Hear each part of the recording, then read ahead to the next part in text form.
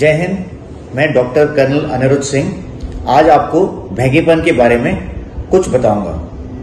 भेगेपन में हमारी आँखें या तो अंदर की तरफ़ या बाहर की तरफ़ तिरछी हो जाती हैं। ऐसे में इलाज कराना बहुत ज़रूरी है। अगर आपके परिवार में या आपके मोहल्ले में या आपके कोई रिश्तेदारी में किसी को भी भेगापन है तो शीघ्र से शीघ्र उसका इलाज कराएँ। बच्चों में जितनी जल्दी इसका इलाज हो जाए तो उससे रोशनी बहुत अच्छी आ जाती है और हमारी दूर देखने की क्षमता के साथ ही साथ गहराई में देखने की क्षमता भी बढ़ जाती है।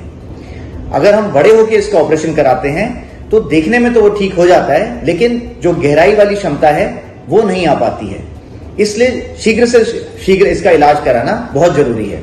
धन्यवाद। ऑनलाइन परामर्श व व्यक्तिगत परामर्श के लिए नीचे दिए गए नंबर पर संपर्क करें। धन्यवाद।